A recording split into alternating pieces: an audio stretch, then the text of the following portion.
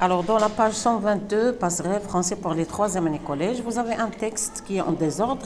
Il s'agit d'une situation initiale d'une nouvelle policière.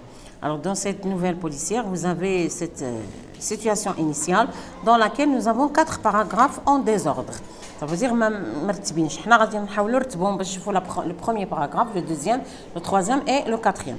Alors d'abord, on va essayer de lire le texte et après, on va essayer de le remettre en ordre. Alors, vous avez le paragraphe A. Soudain, un jeune garçon au corps athlétique apparut. Il portait sur le dos un homme d'un certain âge dont le cou saignait à gros bouillon. Il le déposa par terre et cria à l'aide, les villageois accoururent, mais c'était trop, tard. Le blessé était mort. On envoya quelqu'un avertir les gendarmes. Deuxième paragraphe. Les habitants de Beni vaquaient euh, paisiblement à leur occupation habituelle, partagée entre les travaux dans les champs et l'élevage du bétail. Le soleil cognait très fort, la cour du village était vide, un silence lourd et monotone enveloppait les lieux. Paragraphe C. Les gendarmes vérifièrent les faits. L'opération euh, de ratissage qu'ils organisèrent dans les parages permit d'arrêter les suspects qui finirent par avouer leurs méfaits. Paragraphe D, le dernier, qui est écrit ici. Les gendarmes interrogèrent longuement le jeune garçon et leur confia que les brigands avaient intercepté la victime dans un bois il lui avait euh, ordonné de leur remettre euh, ses économies.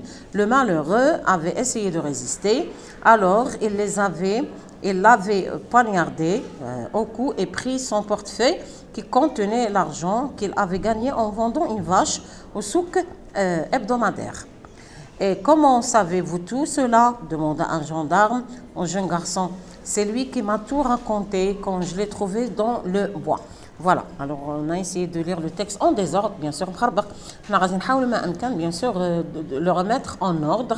Ça veut dire trouver le premier, deuxième, le quatrième paragraphe. Alors à partir de cette lecture, on peut déduire facilement que B, c'est euh, le premier paragraphe où il fait la situation initiale Bien sûr, euh, avant de connaître le problème, les habitants de Salih vaquaient paisiblement dans leur occupation habituelle, ils vivaient dans le village paisiblement, etc.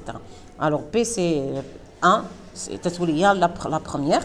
Deuxième euh, paragraphe, soudain, un jeune garçon corps athlétique apparut, il, portait dans le dos un homme d'un certain âge, dont le cou saignait, à gros bouillon, etc. Voilà. A, c'est le deuxième paragraphe.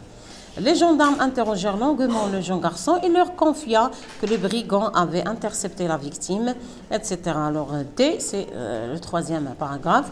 Et logiquement, c'est le dernier paragraphe. Les gendarmes vérifiaient, vérifièrent les faits, l'opération de ratissage, etc.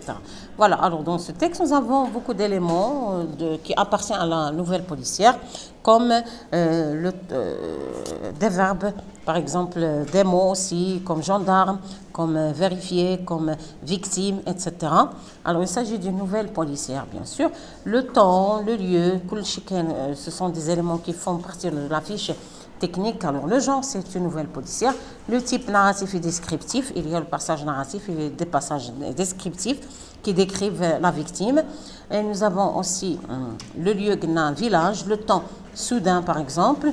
Euh, et voilà, ce sont les éléments qui appartiennent à la nouvelle policière et à la fiche technique de ce texte essayez de reprendre la vidéo plusieurs fois. Je vais comme euh, le premier, deuxième, troisième et dernier paragraphe.